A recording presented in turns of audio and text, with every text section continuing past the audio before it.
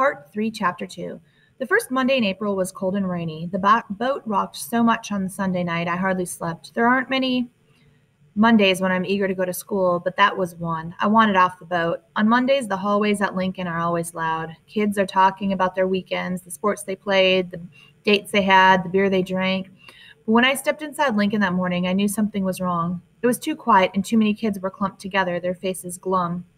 Melissa was in a corner with Annie and Natasha. We hadn't talked much since the night at the Blue Note, but as soon as she saw me, she came over. Have you heard? She asked. Her voice was shaky, as if she were about to cry. Heard what?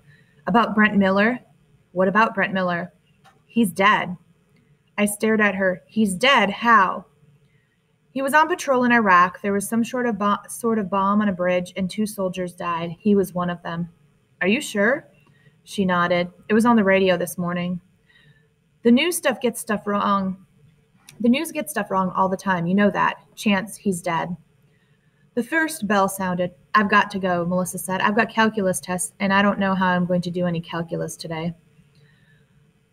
All day I kept hoping to see Melissa so I could talk to her some more, but I didn't see her again until Arnold's class. Even then, she came late, so I had no chance to speak with her before class. Arnold looked old as he stood in front of us. The room was totally quiet as he pulled down the map of the world. I know you've all heard the no- news about Brent Miller, he said, his voice weary. I don't know much, but I'll tell you the little I do know. It happened outside of Baghdad. Brent was assigned to. As Arnold talked, I tried to listen, but my mind kept drifting back to September. I saw Miller standing in front of the class again. I remembered the way he'd acted, both that day and before. I hadn't liked him, and I didn't feel bad about not liking him, but I didn't want him to be dead. I didn't want anybody anybody to be dead. I looked at Arnold. You hear that once you hear that one soldier was killed here or two there, he was saying, and it doesn't make much of an impact. But each one of those soldiers had a family, has friends, has a story, just like Brent did. Every one of them has a life they never get to got to lead. When class ended, we all filed out silently. But as soon as we were in the hall, Brian Mitchell confronted Melissa. I bet you're happy, he hissed. The dumb soldier got what he deserved. That's what you're thinking. You should join Al Qaeda if you hate America so much. Go bow down to Allah. You make me sick. Melissa's face went white and she burst into tears. I stepped between Brian and her. Shut up, Mitchell, I said. He wheeled around. Don't tell me to shut up. I'll say whatever I want to. You're as bad as she is anyway. A crowd had formed around us. You're being a moron, Brian, I said. That's when he started throwing punches. I should have been expecting it, but I didn't get my hands up until he smacked me once right in the face. I grabbed him around the waist and wrestled him to the ground. We thrashed around trying to punch each other for a minute or so. Then somebody grabbed me from behind, and I guess that somebody must have grabbed him too. A minute later, I heard Arnold's voice. What's going on here? Nothing, I said, twisting free from whoever was holding me. What do you mean, nothing? I mean, nothing. So why is your nose bleeding? I put my hand to my face and felt the hot blood. It's nothing, I repeated. It's nothing, Arnold said.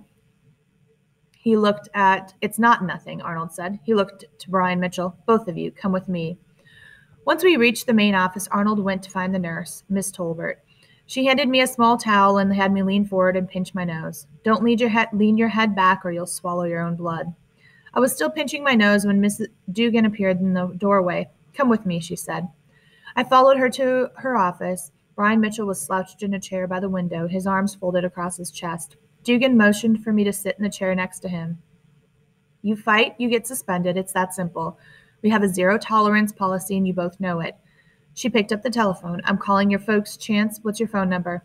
I looked at the floor. Come on, what's your number? I can get it from the secretary, you know. I don't have a phone number, I said. What do you mean you don't have a phone number? Just what I said. How about a cell phone? I shook my head. Your mom or dad got a work number? Again, I shook my head. So, how does a person get in touch with them?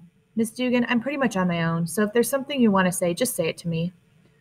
Brian cleared his throat. How about if Chance and me just shake hands and go home? Brian turned to look at me. You'll shake my hand, won't you? Sure, I said. I'll shake your hand. He stuck out his hand and I shook it. Okay, Mitchell said, looking to Dugan. Dugan stared at me and then at Mitchell. All right, I'll ignore what happened, but this ends here, you understand? You two don't even bump shoulders in the hall or I will suspend you. I nodded, so did Brian. Dugan motioned with her right hand. Go on, get out of here. Brent Miller has us all frazzled. Mitchell and I walked down the long, empty hall side by side. I tried to think of something to say, but nothing came to me. When he reached the main doors, he pushed them open and took two stairs